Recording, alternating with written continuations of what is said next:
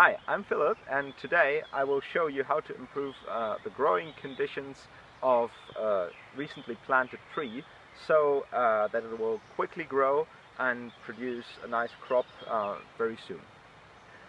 Here's a sweet chestnut, that's Castanea sativa, and it was planted last year um, in, in autumn and uh, it's it's a hybrid between European and Japanese chestnut, so it's um, it's resistant uh, to um, to chestnut cancer, and it's grafted, so it won't live that long as a as a chestnut growing fr grown from seed, um, but it will produce some very nice crop very soon, I hope, and it's protected by this um, by this grid, which is zinc coated so it's very resistant to, to weather and moisture. It will last several decades.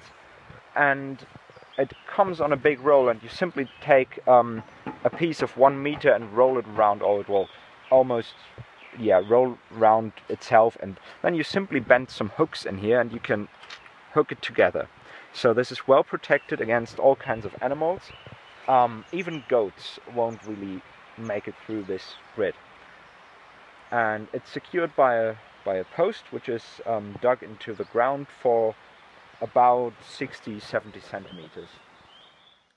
The protection opens easily from top to bottom so that you can reach the stem and the surroundings. Then the buds can be broken off so that all the energy goes into the development of the canopy of the tree. We then remove all of the competing vegetation around the tree, so that it doesn't take away nutrients that otherwise the tree could benefit from. Of course, we have to be careful not to damage the roots. We also remove the vegetation on the outside, so that the tree gets more room to grow without competition. With young trees, I remove quite a bit of the vegetation so that there's absolutely no hindrance for the tree roots to grow. In bigger trees, you can do this under the whole canopy. Then we dig out a little ditch around the tree without harming the root system.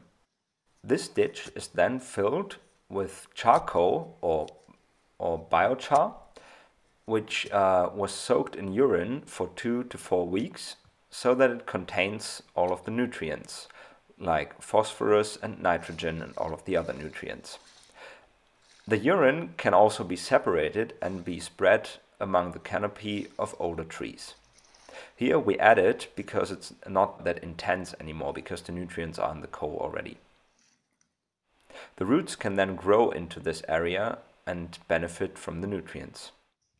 Next, we add some animal manure like horse manure that is well seasoned.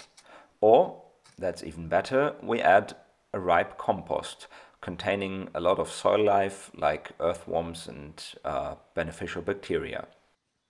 At last, we mulch the area around the tree with organic material like grass cuttings from mowing a meadow.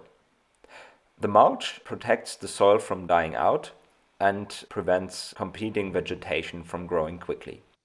It mustn't be too thick so that it doesn't get moldy. And on the other hand, it mustn't be too thin so that the soil stays nicely moist.